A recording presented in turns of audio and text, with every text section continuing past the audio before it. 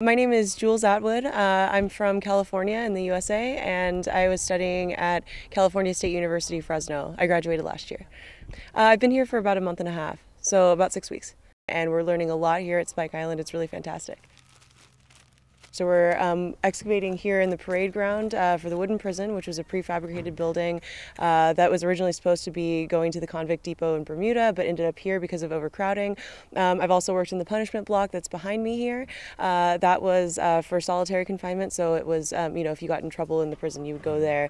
Um, I've also worked in the uh, graveyard area. So we have a couple trenches open down there um, at various stages of excavation.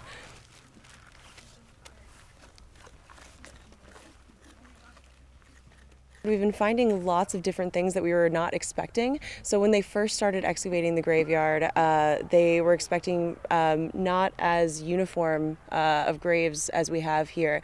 Uh, so there was a period of really high mortality in the prison between about 1850 and 1854. So we were kind of expecting to find mass graves from that, but instead we found these uh, beautifully laid out uh, graves. They're all equal spaces apart.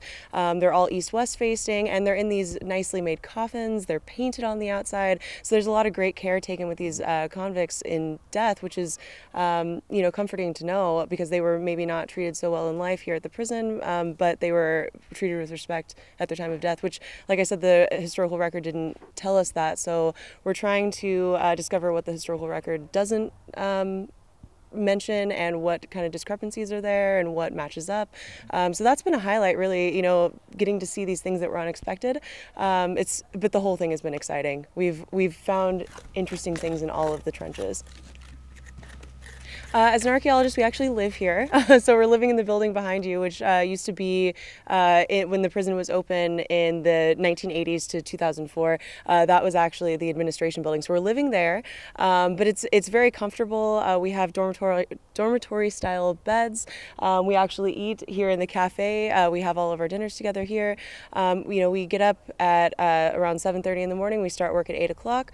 we excavate for a couple hours. We take a lunch break, um, but we we dig all day long, which is fantastic. so basically, we're just we're the first part of the uh, dig is removing the soil, getting down to archaeological levels, and then once we get down to the archaeological levels, then we're um, you know using trowels to scrape away, look at the different soil changes. Um, we collect all of the artifacts that we find. Uh, we we clean them in the lab, and then we record everything that we find. And uh, essentially, we're just we're looking for clues, as I said. Um, to what life was like for the convicts back in the mid 19th century. So, um, yeah, a lot of it is digging, but then we also piece everything together in the lab and get to clean everything and analyze. While we're here, it's easy to take the ferry boat over uh, to Cobh. It's easy to get into Cork, so we've all been to Cobh and Cork several times. Uh, there have been some people who have gone to Killarney for the weekend and just, you know, exploring. Yeah, it's been great.